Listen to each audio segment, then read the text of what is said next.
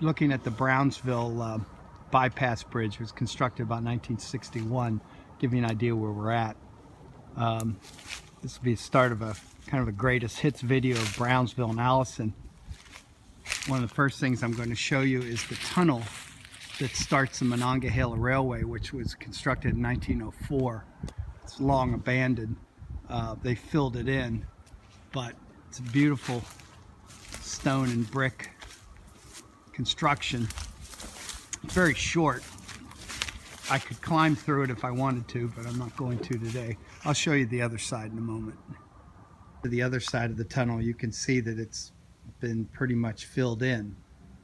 Um, not only here, but through here. Um, there's no indication that a railroad came through here. Uh, coming from Brownsville, it's still intact and probably one of the best looking of the sets. It's down by the water treatment plant.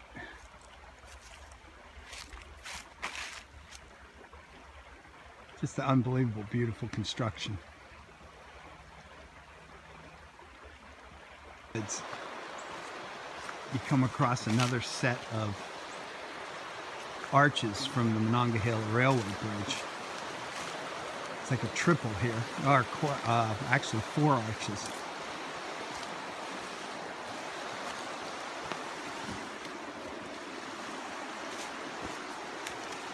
It's amazing it survives.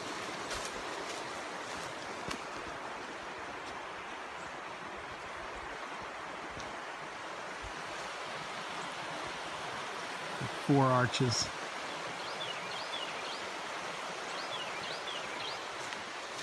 Just incredible construction characteristics.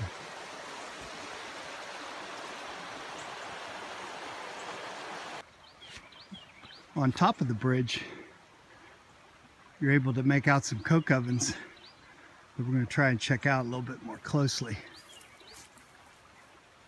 As you can see, these are pretty old faces are gone. You have a huge oven inside of there and here. We're trying to figure out if these were the century ovens. Judging from where they're located, you would think that they are.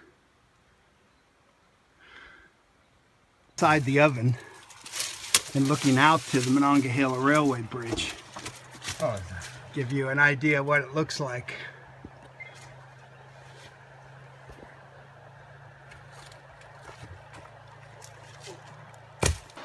Here's the deeper set of arches that are back in the woods. Give you a better look at them from the other side.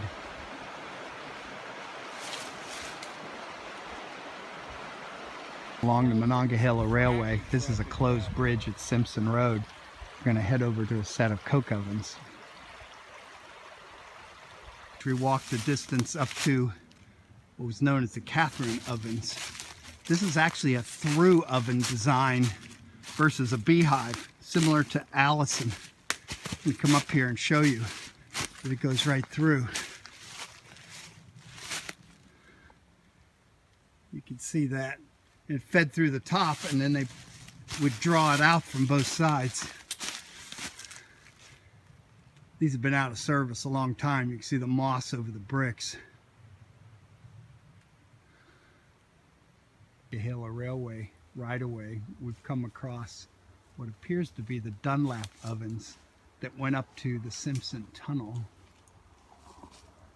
Hopefully we'll see some better shots than these. Here are the Dunlap ovens that are right on the Monongahela Railway right away. We're very close to where the tunnel used to be. It's to be interesting to see if there's going to be any remnant of it when we get there.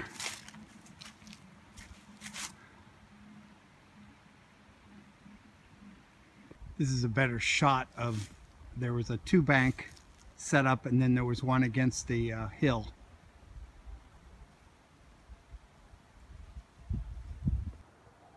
the coke ovens uh, came right up to where the Simpson Tunnel used to be.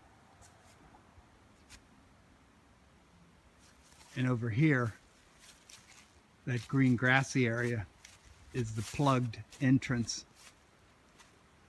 to the Simpson Tunnel, which was filled in for Toll 43 uh, in the last couple of years.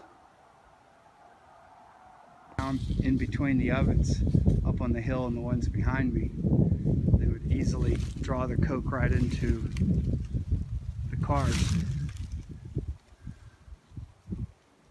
This is Dunlap. We're off Davison siding near Allison. This looks like just a normal walk path, but we'll show you what it is in a moment. Down, you can see that it's the West Penn Railways concrete streetcar bridge. There are two of these. There's one at the other end going toward Republic, and this one. It's built in 1908, still standing. This is one of the best preserved of the whole setup. You can see here where the rail car would come through and then they would draw the coke from this through oven design onto the cars. They're in this well preserved condition so you can see what typically these would look like in the front. As I said, these are through oven designs and they would cook the coke and push it right through to the rail cars. You can see it goes right through there. One of the cleanest ones we've seen in terms of dirt and debris building up on it. That's actually the floor of this oven, so you get an idea. Yeah. These ovens are, I'm actually standing up in the middle.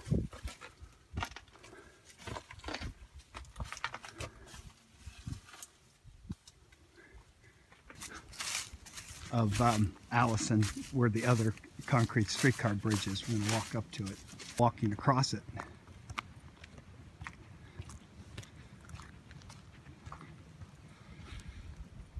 Bridge from the side.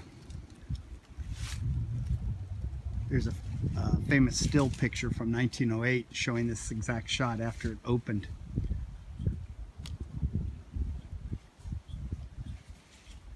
So that's it for Brownsville and Allison Greatest Hits today. Enjoy.